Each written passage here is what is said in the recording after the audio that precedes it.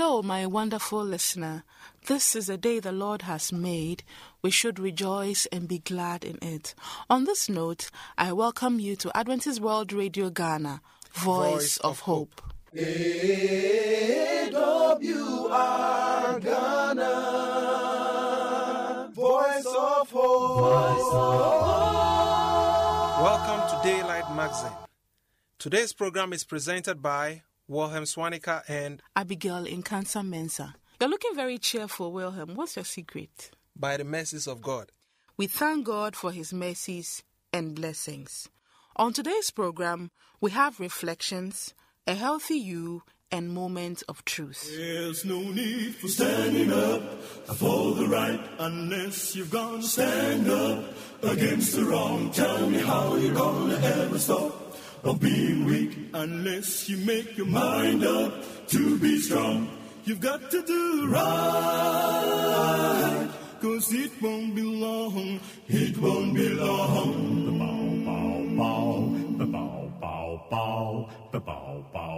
Let me tell you that it's easy to hate your enemy, and it's just as easy to love your friends. Tell me you will have to live a life. The Bible tells you you've got to let the love of God come in. Well, you've got to do right, cause it won't be long, it won't be long. Don't you wanna love him better? Don't you wanna love him more? Can't you even say you're knocking? He's a knocking at your door. So don't you wanna make haste to meet your maker before you've got to deal with the undertaker? He will take you right now. If you are willing, don't you know the Bible is fulfilling? You've got to do right. Cause it won't be long, it won't be long. You've got to do right. For it won't be long, it won't be long. You've got to do right, oh, oh, live a life. You got to do right, oh, oh, live a life. You got to do right, oh, oh, live a life. You got to do right, oh, live a life. You got to do right, oh, live life. You got to do right. Right. AWR Ghana, Voice of Hope. Voice of Hope. Join us as we reflect on the lessons of life. Our next segment is Reflections.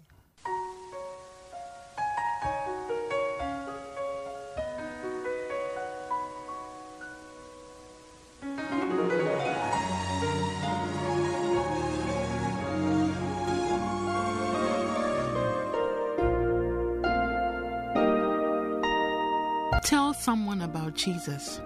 A woman of Samaria came to draw water. John chapter 4, verse 7. John records a woman of Samaria came to draw water. After five failed marriages, her trust levels are demolished and her self worth is zero. So she approaches Jesus cautiously.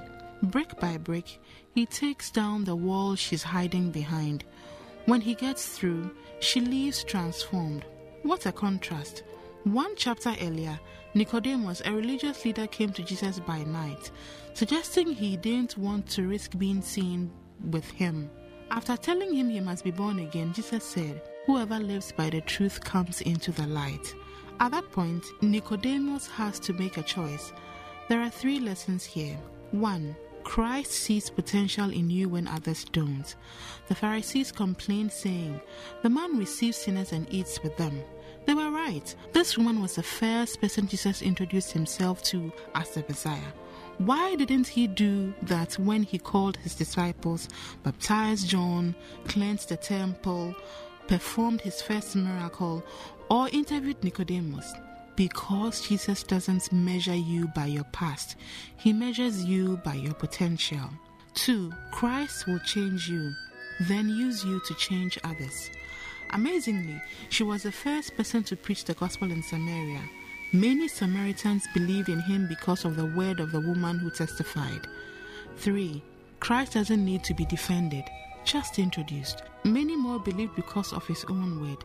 Then they said to the woman, Now we believe, not because of what you said, for we ourselves have heard him, and we know that this is indeed the Christ, the Savior of the world. Today, tell someone about Jesus. This is Abigail Nkansa Mensa. God bless you.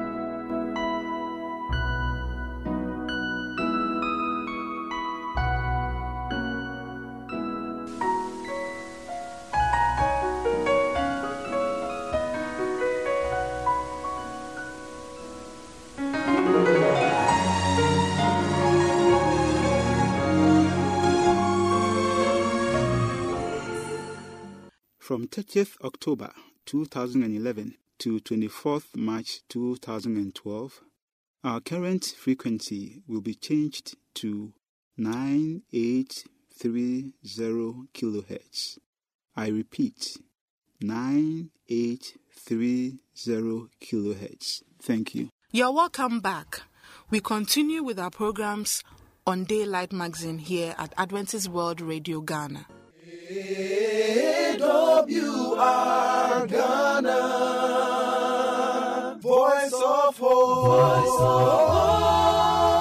AIDS is this real, is real. Oh, friend, let's help prevent it now. AIDS is real, AIDS is real. Oh, let's help to fight it out. Abstain, abstain, be faithful to your partner. Say no, say no to extramarital sex. It's real, it's real. It kills, it kills. It's everyone's business. Oh, be wise, be wise. Think twice, think twice. The decision is yours now. It's my business. It's your business. It's everyone's business.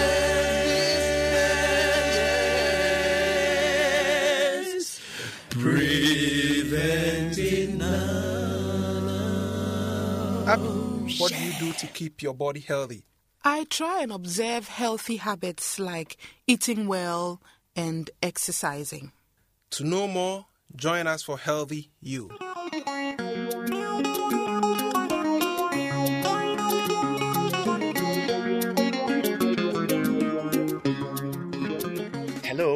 Welcome to Healthy You. This is again Dr. Daniel Ganu speaking to you from Valley View University, Accra, Ghana. We are going to begin a new series. This time around, we are going to talk about tuberculosis. Tuberculosis. The World Health Organization tracks the major causes of death around the world, and tuberculosis is the seventh greatest cause of death on earth, killing nearly 2 million people around the world every year. Tuberculosis is a bacterial infection that is spread through the air when an infected person coughs or sneezes onto others in a crowded or on someone physically near you. Tuberculosis used to be a common disease in countries with large poor populations, but uncommon in fully developed countries. Starting in about 1985, the infection rate of tuberculosis in fully developed countries began to rise rapidly. What has caused this change in the infection rate? In approximately 1985, the virus called HIV or human immunodeficiency virus came into the world stage. The virus causes the disease known as AIDS and it destroys a person's ability to fight infections. When God created us, He made for us a sophisticated defense systems to help us fight infections. It is called the immune system. People infected with the HIV virus eventually become unable to fight infections because the virus first damages and eventually destroys the immune system. Many people living in developed countries now battle AIDS and secondly, tuberculosis, as their immune system first becomes damaged and then destroyed. So, what happens if I am exposed to the tuberculosis germ? The vast majority of people who are in good health, when they are exposed, can fight off the infection and never develop a clinical disease.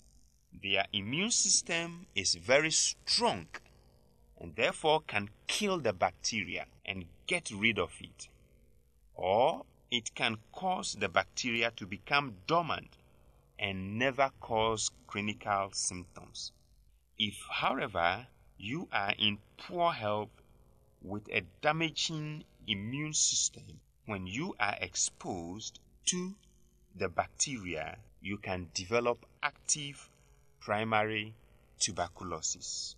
Within a few weeks of exposure, you will develop a cough, fever, chills, and night sweats. You will lose your appetite, feel very tired, and develop unexplained weight loss. So, does any medical condition that damages my immune system increase my risk of developing tuberculosis? Yes, we have already discussed one HIV AIDS. Similarly, any condition that weakens your immune system will increase your risk for developing active tuberculosis.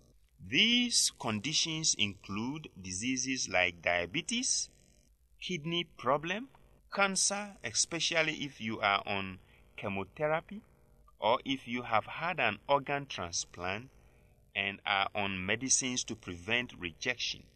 Medicines such as steroid weaken your immune system and increase your health risk. Also, those who suffer malnutrition and the aged are more likely to develop active tuberculosis. What are the complications of tuberculosis then? Without treatment, tuberculosis can kill you. The infection starts in the lungs, but it can spread to other parts of the body through your blood.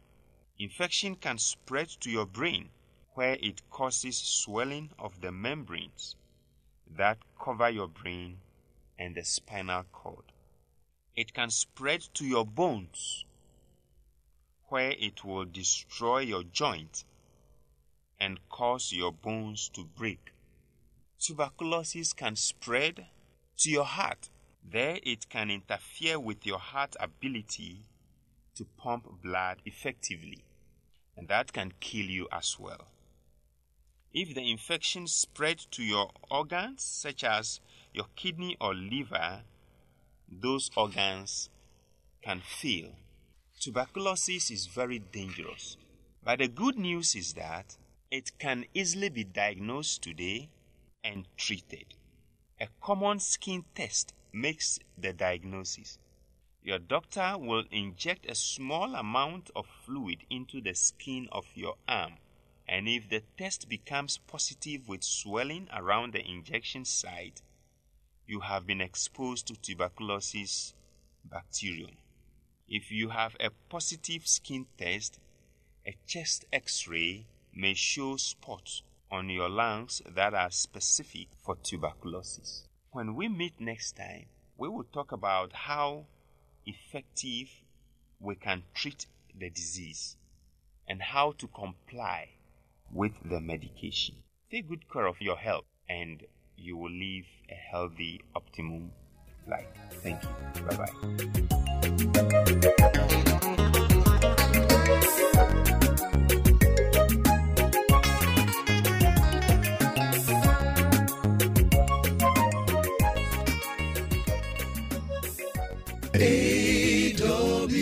AWR, voice of hope, we will bring you joy. Keep hope alive. AWR voice of hope.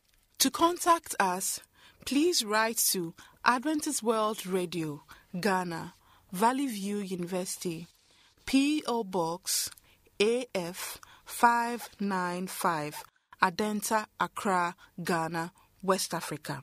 Or if you have access to the internet, send us an email through awr at vvu.edu.gh. Or better still, you can call us on 233 20 87 04 532.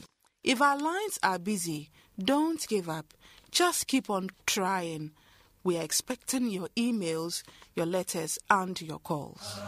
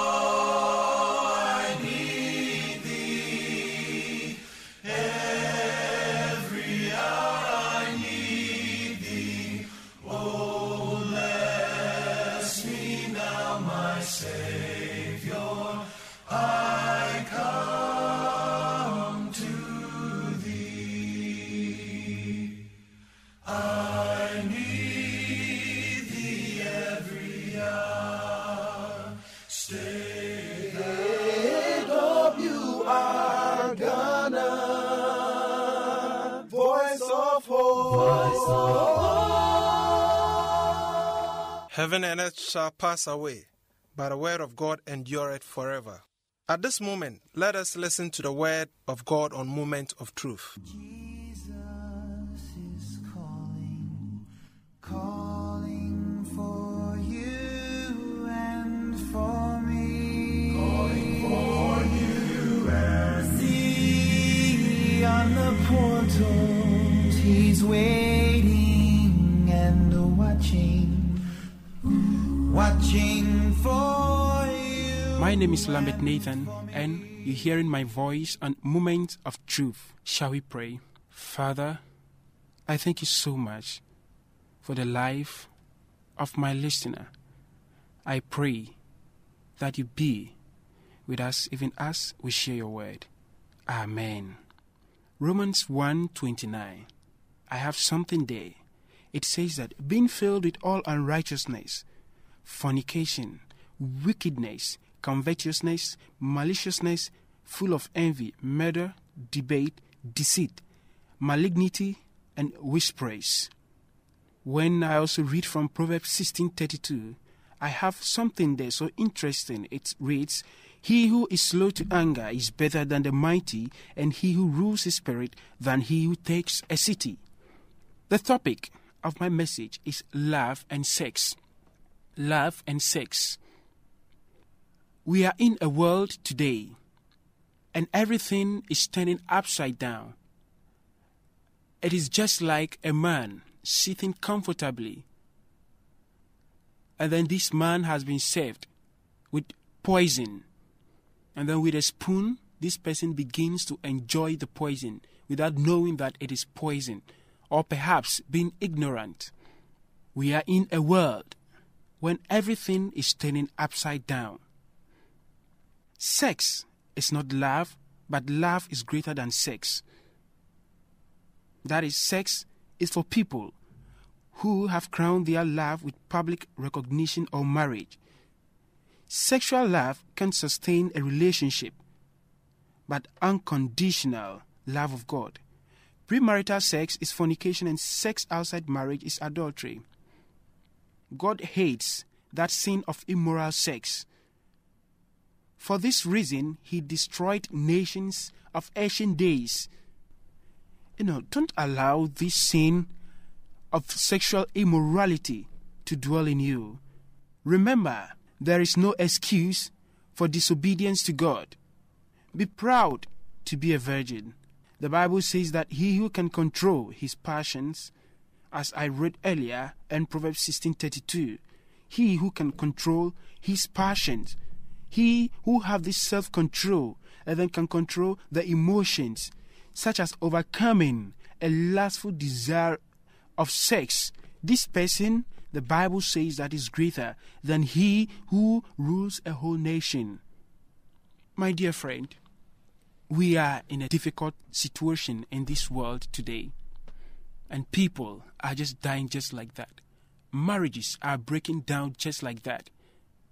All because our minds are filled with different things. We have deviated from the original path that God created. People have translated love to mean sex. And then anytime somebody feels that, hey, I am in love with somebody, then he thinks that the climax of that love should be proved. And then to really prove that, then sex is the only way out. This is a so called wise way the devil is using to destroy men. The true joy of relationship, of marriage, of love has been changed and replaced with a counterfeit one that makes us believe that sex is love. When this kind of passion starts to depreciate in a relationship, then all that is left is hatred. All that is left is nothing to write home about. Many are those that engage in fornication, sexual immorality. The devil has really given man a kind of feeling that it is everything when you have sex. But Jesus is telling us that what he intends for us is true love. True love that will not cheat. True love that will not go around destroying the lives of people, raping people here and there, flogging people to have fun. That is not the love that Jesus has given us. But that is a counterfeit one that the devil has replaced with that which the Lord has given us. Now, back to the scriptural reference, Romans 1:29. Being filled with all unrighteousness, fornication, wickedness, covetousness, maliciousness, full of envy, murder, debate, deceit, malignity, and whispers. These are all qualities, characteristics, uniqueness of a man who bears the sign of the devil, of a man who have decided to tell Jesus that Jesus, your death is of no importance to me. This is the character of a man who, because of a failure in a relationship, due to a disappointment of the other partner, have decided and purpose in his heart that I will go out there and then pay people back because I have been dealt with in a manner I don't really like. So such a person will go around destroying the life of others. People who even have sexually transmitted diseases have pleasure in that, go about spreading it all around with people. My friend, you have to beware. Although your eyes are opened, I want to tell you that don't sleep, don't close it, open it wide. Although you can hear, I want to tell you that beware and listen widely because the devil is seeking you out there to destroy you. Trust in Jesus and think of changing yourself first before others. This is my message for you. Now let's pray. Father, I thank you so much for the life of my friend. That after all we've been going through in this life, after the decisions we make because of life experiences, you are always closer to us. We thank you for that love. We are promising that we'll never go back to those old ways of sexual immorality, but we'll live and then present our bodies a temple in Jesus' name. Amen.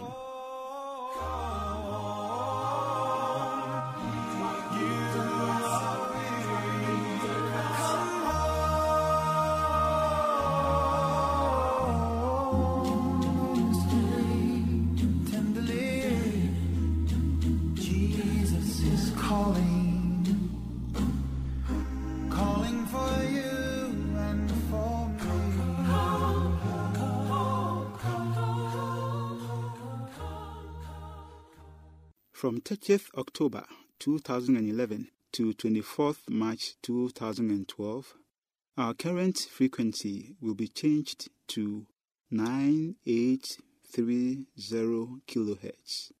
I repeat, 9830 kHz. Thank you.